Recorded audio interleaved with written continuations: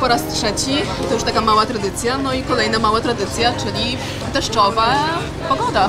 Chciałoby się inaczej powiedzieć, tak, żeby o tej pogodzie, ale faktycznie tak jest. No kurczę, trzecia edycja już fajnych, e, fajnego festiwalu smaków regionalnych, a aleje, no, no mówię, wczoraj tutaj tak sobie śmiejemy się już teraz, bo już to nam pozostało, tak?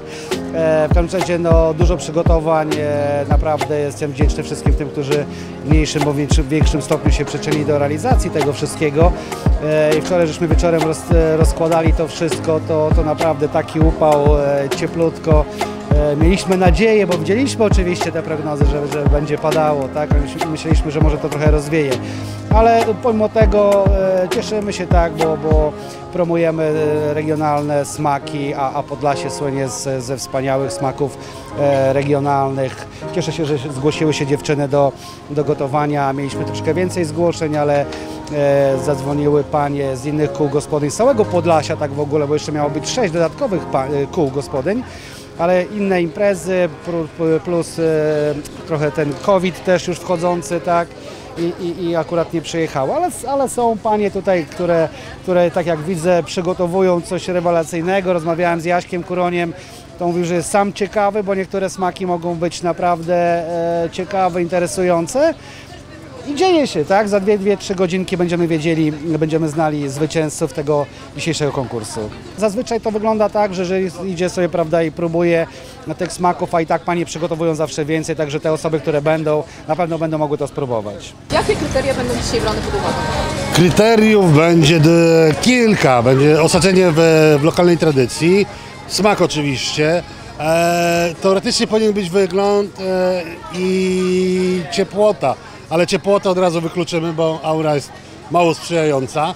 E, prezencja też u mnie nie jest, e, nie jest aż tak istotna, bo to jednak e, panie z kół gospodyń wiejskich nie muszą patrzeć na najnowsze trendy, jeżeli chodzi o serwowanie, kwiaty jadalne i tak dalej, to absolutnie nie jest, nie jest potrzebne. Zwłaszcza, że na przykład, nie wiem, jakiś wybór sosów czy kwiaty jadalne z babką ziemniaczaną, no to pasuje jak pięć do nosa. Także przede wszystkim smak i, i, i osadzenie w lokalnej tradycji, ale jakaś taka innowacyjność, świeże podejście do tematu też jak najbardziej.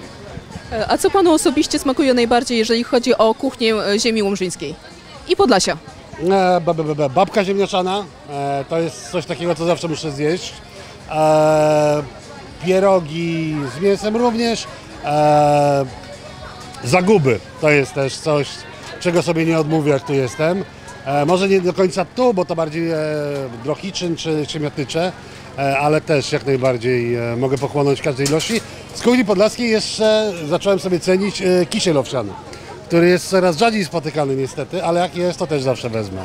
Także tych produktów jest sporo, ja też gdybym usiadł, to mógłbym wymieniać długo i namiętnie, ale takie, taka pierwsza liga to, to zazwyczaj jest to.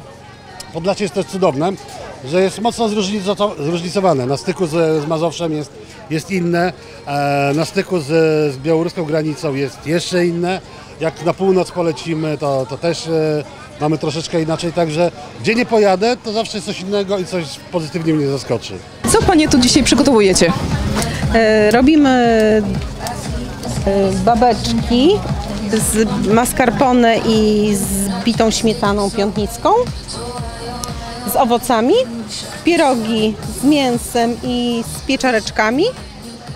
I do tego jeszcze mamy smalcyk wiejski, taki swojski, chleb na zakwasie, też swój i ogórek małosolny.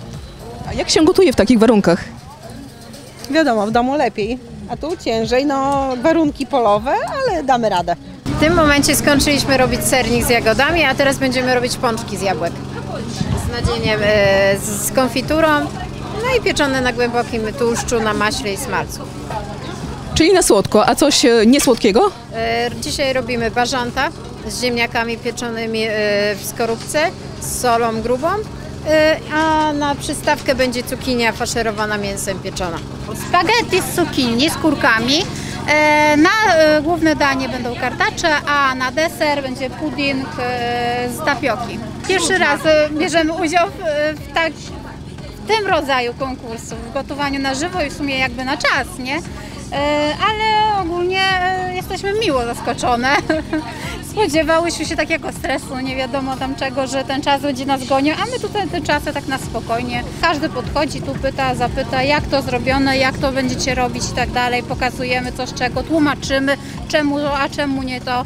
A tak zwykle jest, przychodzi ktoś, e, widzi gotową potrawę i trzeba dyskutować, że to wcale nie tak, jak on myśli i tak dalej, nie? A tutaj wszyscy widzą, jak no, możemy się pochwalić.